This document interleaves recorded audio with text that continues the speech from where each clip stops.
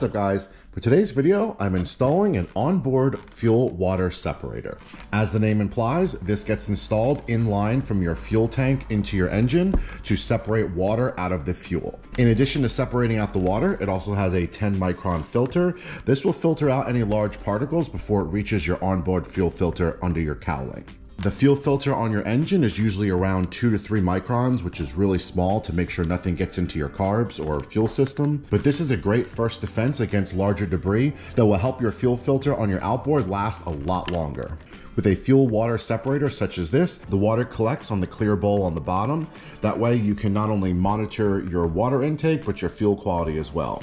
If you do happen to have water in your fuel tank, which I suspect I may have a little, the water will collect at the bottom of the drain bowl here. You just loosen a small drain screw, drain out the water, tighten it back up, and you're good to go. This is a great way to ensure you're only getting the best fuel to your engine to make sure it's working as it should. So as I said, this gets installed in line to your onboard fuel system.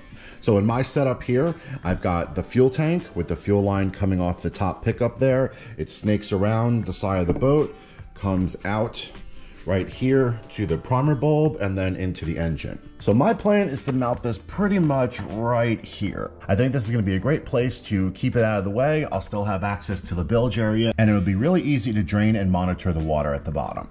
Now, depending on how much fuel line you already have in your system, you might not need any extra fuel hose. I happen to have this one foot length of fuel hose that I may use as an extension if I need to. As I said, I'm trying to install this in line to the current fuel hose here. So I need to cut this hose at one point, route it into the filter on one side, have it come back out of the filter on the other, and then connect back into the fuel system. I also had a 3 8 splice kit already on hand. So this is just barbed on each end. If I need to extend my hose, this is how I'm gonna do it. This is the brand that I went with. This is the SeaSense brand. I'll have a link in the description for you guys to check this out. Um, I went with this because it has a nice big filter, the clear drain bowl at the bottom, and it came with all the fittings you're gonna need to get this done. For your fittings here, you get two hose barbs and two plugs. For the mounting plate here, there's a couple ways you can run the fuel lines. Uh, basically, if you see the arrows on the top, you need to have an inlet hose and an outlet hose. You can mix and match them depending on which ones you want to do, because it all depends on where it's dumping the fuel and where it's pushing the fuel out. As you can see, there's an inner ring here. Uh, the inlet lines, which are these two here, they let the fuel into the filter, which will drop it into these holes here on the filter itself. And then the outlet lines pull fuel from the center, which is the center of the fuel canister, and then that pulls the fuel through the filter element and lets all the water fall down to the bottom of the tub here. So first thing you're gonna need to do is get your mounting plate installed. Really wanna make sure this is gonna fit where you have easy access to not only drain the bowl, but change the filter in the future. All right, so to get started, like I said, my mounting uh, option was gonna be right here. Uh, this is a basically a piece of wood that's fiberglassed over. You can see all the electrical connections are screwed into this already. So I'm gonna go ahead and mount it somewhere here with some stainless screws. The biggest question I'm gonna have for today is where I'm gonna cut this fuel line because I need to cut it in a length that I'm gonna be able to then move over into the inlet port and then connect back over here. I don't wanna cut it too short and then it not reach the inlet port, but I don't wanna cut it too long and then I can't fit the inlet port in place. Since I do have a pretty big area where I can install this, let me get that fuel line cut and attached to the fitting on here, and then we'll be able to move it where it makes the most sense for the fuel line. So I'm gonna go ahead and install one of these plugs.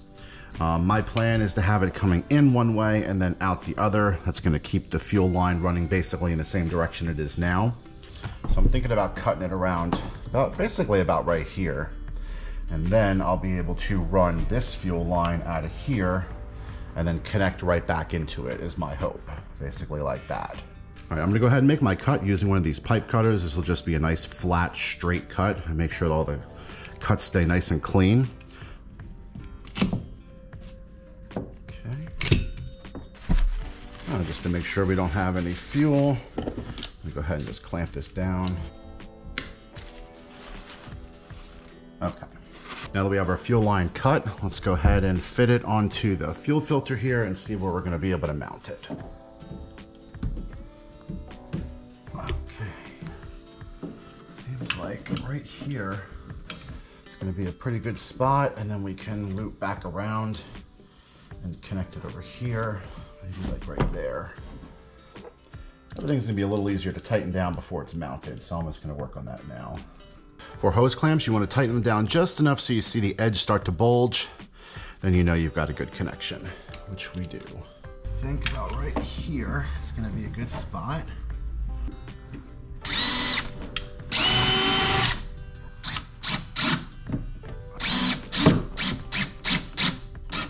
Now we're gonna put this straight.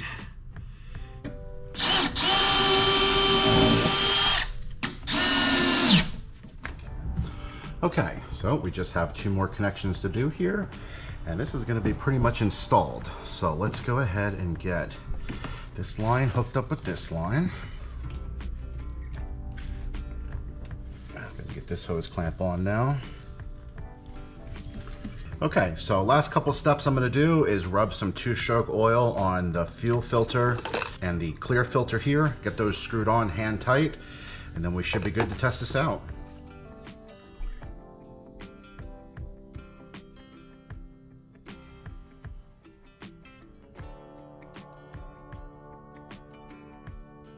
Just ensures a really good seal with your gaskets and make sure this comes off again.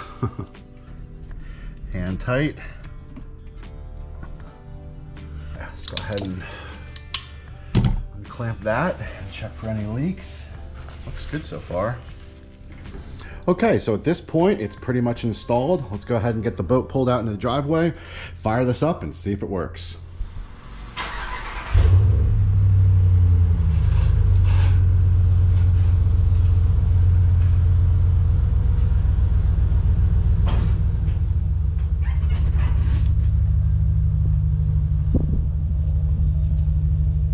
So I got the boat pulled out, hooked up to the hose. I'm gonna go ahead and prime the fuel system best that I can. Hopefully get this running and then the fuel pump will do the rest of the work to prime the canister and we'll see if it works. And hopefully no leaks.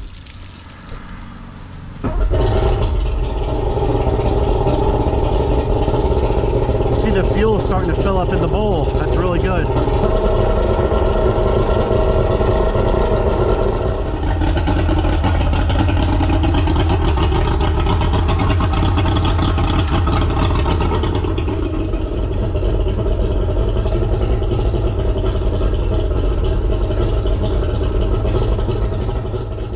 guys, well at this point I am completely happy with how this is working.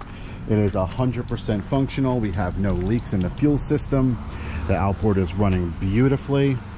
Couldn't be happier right now. Now I just gotta wait and see if any water makes its way to the bottom of the fuel bowl. So far so good, but I also don't know how long it's gonna take for that to happen. Um, my guess is that once we're on the water, maybe a little bit more level on the fuel tank and it's picking up some deeper gas, that's when we're gonna start seeing the water.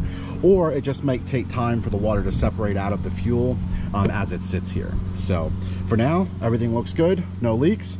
This is how you install a fuel water separator. If you guys found this content helpful, don't forget to let me know by hitting that like button. If you want to see more boating videos like this or other outdoor content, don't forget to subscribe. And thanks for watching.